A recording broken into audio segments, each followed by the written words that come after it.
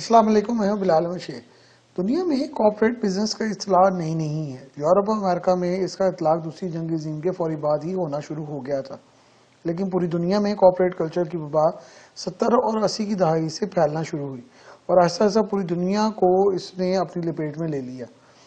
पूरी दुनिया के कारोबार पर कॉर्पोरेट कल्चर ने अपना कंट्रोल मज़बूत कर लिया और हती के हुकूमतों के फैसलों और माशियत की हैत को मुतन करने में भी इस कल्चर ने अहम करदार अदा करना शुरू कर दिया। इस वक्त दुनिया के सत्तर फ़ीसद बल्कि अस्सी फ़ीसद जो माशियत और अदारे हैं, वो कॉरपोरेट सिस्टम का हिस्सा बन चुके हैं। पाकिस्तान में भी ये कल्चर अब हर अदारे का हिस्सा बन चुका है। जिस तरह पूरी दुनिया में मुनाफा कमाना और कारोबार को किसी बनिए की दुकान की तरह चलाना मकसूद होता है, उसी तरह अब मुल्कों की हुकूमतें भी मुनाफा कमाने और मुल्क को किसी कॉरपोरेट यूनिट की तरह चलाने लग गए हैं, जिसका वाहिद मकसद हर कारोबार की तरह मुल्क को भी मुनाफा बख्श बनाना है। लेकिन इसके नतीजे में पाकिस्तान जैसे मुल्क का क्या हाल हुआ और उसका क्या नक्शा बना हुआ है, ये अब आप सबके सामने है। इस सारे केस को समझने के लिए कॉपरेट सिस्टम को समझना बड़ा ज़रूरी है। कॉपरेट कल्चर की बुनियाद सनती इंकलाब के बाद ही पड़ चुकी थी, जबकि पूरी दुनिया में ऐसा ऐसा सत्तर और अस्सी की दहाई में कॉपरेट कल्चर ने अपने आप को मज़बूत किया। अब पूरी दुनिया की तमाम जो हुकूमतें सनतें तजारती इदारे बैंक्स हती के तालीमी इदारे और अस्पताल, सभी ही सिर्फ़ मुनाफा कमाने की मशीन बनकर रह गए हैं। क्योंकि कॉपरेट कल्चर या कॉपरेट सेक्टर का असल टारगेट सिर्फ़ और सिर्फ़ मुनाफा कमाना होता है। इस निज़ाम के रास्ते में जो भी हायल होगा, उसे फ़र्क कर दिया जाएगा। पाकिस्तान में कॉर्पोरेट सेक्टर ने आहिस्ता आहिस्ता अस्सी की दहाई में अपना खेल शुरू किया, जब अमरीकी इमदाद और यूरोपीय कंपनियों ने तेज़ी से पाकिस्तान का रुख किया। लेकिन जनाब इमरान खान की हुकूमत ने कॉर्पोरेट स्टाइल तर्ज को बुनियाद बनाकर इस कदर मज़बूत कर दिया है कि अब ये बहुत ही तरक्की की जानब रवा दवा है। इस वक्त पाकिस्तानी हुकूमत बुनियादी तौर पर कॉर्पोरेट तर्ज हुकूमत के हवाले हो चुकी है। जिसके नज़दीक कॉपरेट सेक्टर का ज़रिया जो है, वो सिर्फ़ मुनाफा कमाना है। उसका असल मकसद, असल हदफ आवाम नहीं होते, बल्कि सिर्फ़ मुनाफा कमाना होता है और हर चीज़ को मुनाफा बख्श बनाना होता है। जनाब इमरान खान एफ़ के टैक्स की वसूली की रिकॉर्ड जो है, वो इकट्ठा होने पर बड़ी खुशी का इजहार करते हैं। लेकिन दर हकीकत कॉपरेट सेक्टर की वारदात भी यही है कि अमीर अमीर तर होता जाए और गरीब गरीब तर होता जाए और गुर्बत में डूबता जाए। फलाही रियासत के दावेदार गरीबों के लिए लंगर खानों का अहतमाम करते हैं और गरीबों के लिए एहसास प्रोग्राम का बार बार ऐलान भी करते हैं। लेकिन दर हकीकत ये बहुत ही बड़ा धोखा है। कॉपोरेट सेक्टर तरक्की करता है तो मुल्क तरक्की करता नज़र आता है, लेकिन अवाम की हालत जूं की तू बल्कि मजीद खराब होना शुरू हो जाती है। क्योंकि अमीर बहुत ज़्यादा पैसा कमा रहा होता है और गरीब बेचारा उसी तरह पर काम कर रहा होता है। हुकूमत को अपने आप को अवाम के साथ खड़ा करती हुई नज़र आती है। उसका यही बयान होता है कि वो आवाम के साथ खड़ी है। लेकिन किस तरह? राशन की लाइनों में लगाकर और उनको कार्ड बनाकर देकर वो कहते हैं कि हम इसके साथ खड़े हैं आवाम के साथ। लेकिन ये होता नहीं है। उस वक्त तक राशन की लाइन में अब आम आदमी नहीं लगेगा जब तक कि उसकी खुददारी और ज़िंदगी दौ पर न लगी हो। मिडिल क्लास के लिए राशन की लाइन में लगना और कार्ड ले जाकर अपना जो है इलाज कराना किसी बेजती से काम नहीं होता।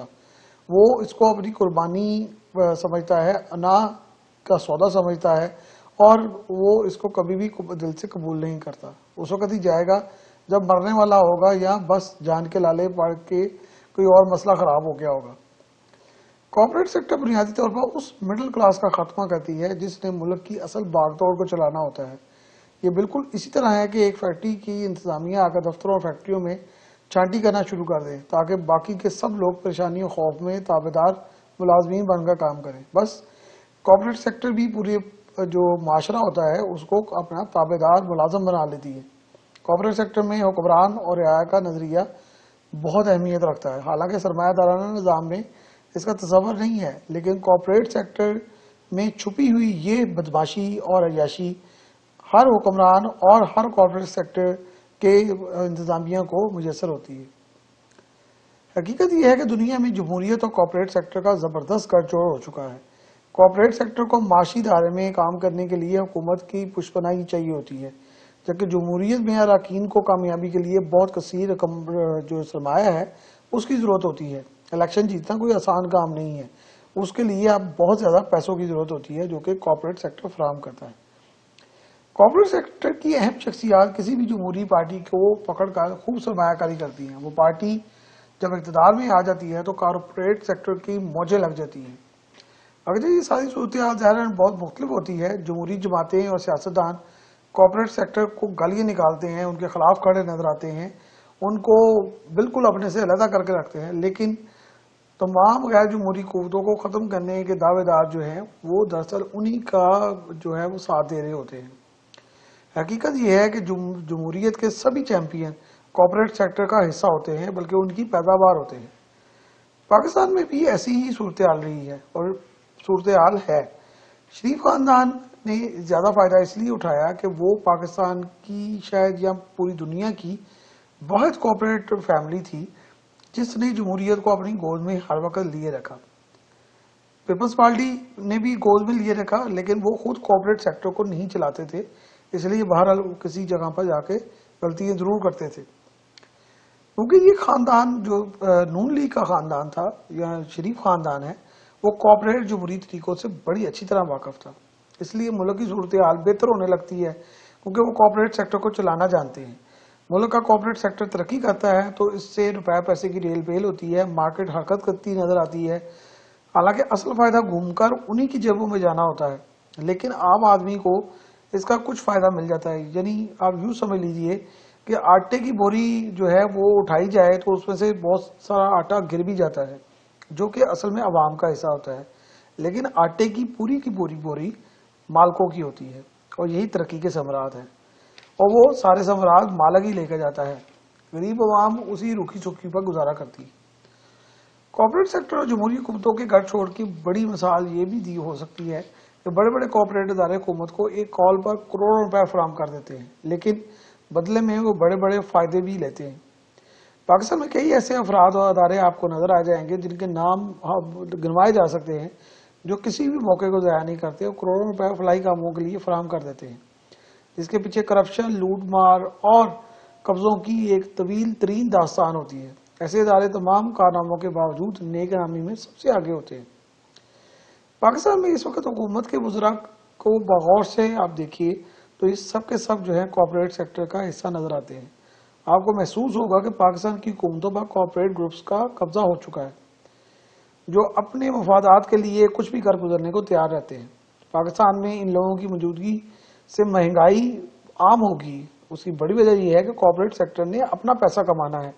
आवाम का ख्याल रखेंगे तो कमाएँगे कहाँ से?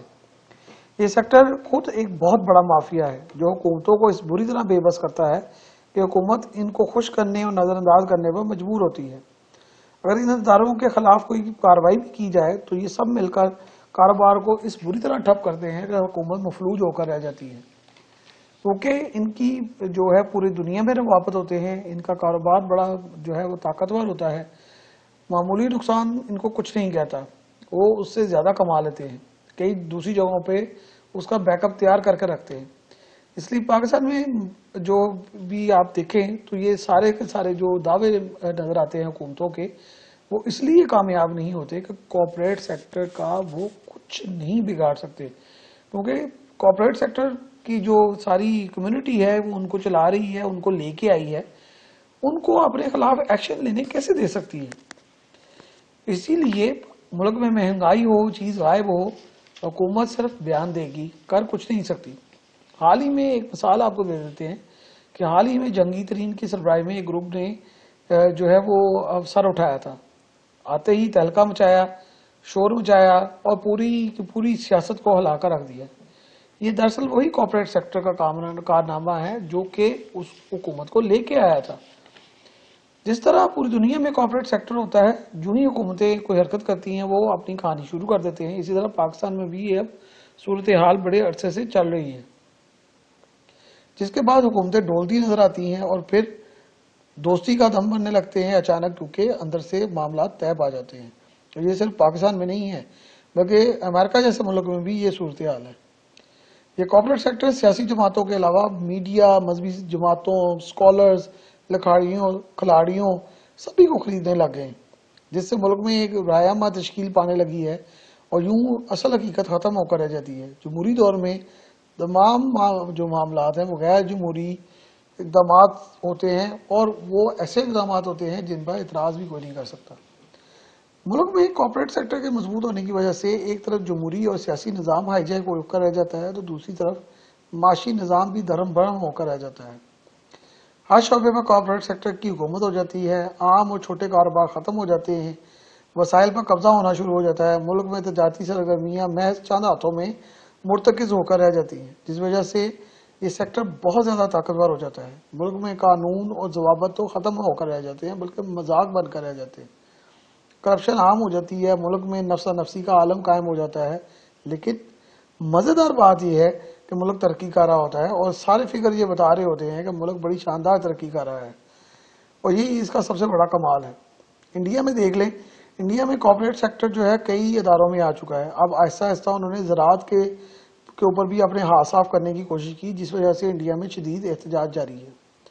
हकीकत यह है कि ये सेक्टर वसाइल पर बरंजमान हो जाता है किताबी नजरियाती लिहाज से मुल्क तरक्की कर रहा होता है, लेकिन हकीकता अवाम का बेड़ा गर्क कर कर बदहाली का शिकार कर कर ये जाते हैं। और दिन ब दिन उन पर दबाव बढ़ता जाता है अवाम गरीब होती जाती है मुल्क तरक्की कर रहा होता है।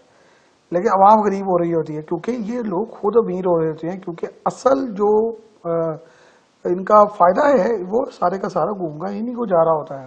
कॉपोरेट सेक्टर तरक्की कर रहा होता है सारा मुनाफा कमा रहा होता है मज़े कर रहा होता है और अमीर तबका अमीरतर होता जा रहा होता है कमाइयाँ कर रहा होता है। दुनिया में कॉपोरेट सेक्टर बहुत मजबूती और कामयाबी की तरह रवा दवा है। पाकिस्तान में भी अब ये दबाव बहुत बुरी तरह जो है वो बढ़ चुका है। पाकिस्तान में माशी पसमानदगी महँगाई, बदमनी, जहालत और दीगर कई मसाइल की वजह यही कॉपोरेट सेक्टर है। इसकी कारस्तानियाँ जो हैं वो बड़ी बड़ी ऐसी आला किस्म की हैं ये आपकी सोच से बाहर है। मीडिया हाउसेज को खरीदा जा रहा है, मजहबी जमातों तक को खरीदा जा रहा है और उनसे फ़ायदे उठाए जा रहे हैं।